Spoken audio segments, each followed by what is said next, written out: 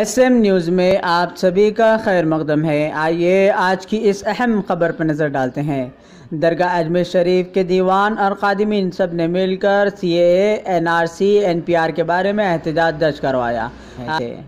میں Muhammad Muzaffar, S M news سے۔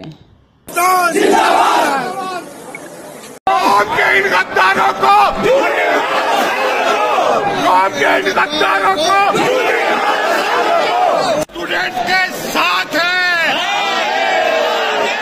Aligarh مسلم university کے اسٹوڈنٹ کے۔ ساتھ انڈین یوتھ کے۔ انڈیا کا سوہارد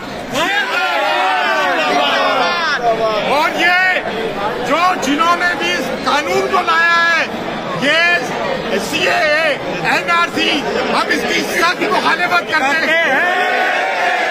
ہم یہ خواجہ محی الدین چشتی کی چوکٹ سے کرتے ہیں مودی کے لاگے اور آپ لوگ اپنے کاغذات کسی کو مت بتانا کروڑ مسلمانوں کو بار کر کے بتا دیں بتا دیں اور مسلم اتحاد کوئی مسلمان اگر مسلکوں کی بات کرتا ہے، دیوبندی بریلی کی بات کرتا ہے، اہل حدیث تبلیغی جماعت کی بات کرتا ہے، شیعہ کی بات کرتا ہے بابی کی بات کرتا ہے، تو ہم اس کو نہیں مانتے۔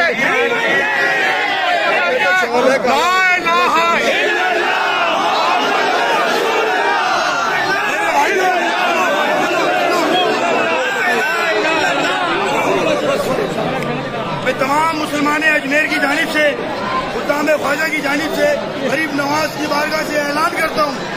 جب جب مسلمانوں میں پریشانی آئے گی، ہم ان کے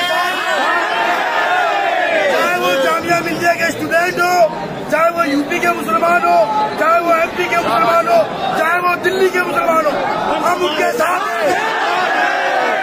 اور ہم ہی نہیں، ہم ہی نہیں، پورے ہندو مسلم سکھ عیسائی، سارے اس این آر سی کے خلاف سب کے ساتھ ہے مسلم ایکتا این آر سی کے خلاف ہے این آر سی قانون دیش کی ایکتا اکڑتا کو توڑنے کے لیے لوگوں سے گزارش کرتا ہوں اس سنویدھان کاری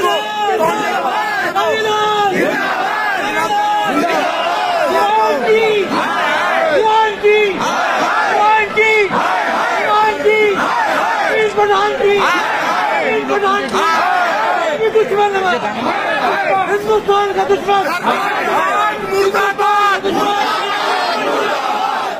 کے ان غداروں کو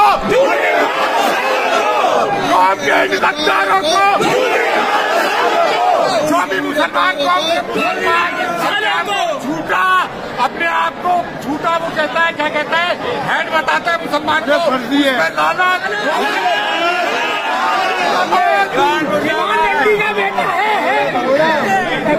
قوم کے ان غداروں کو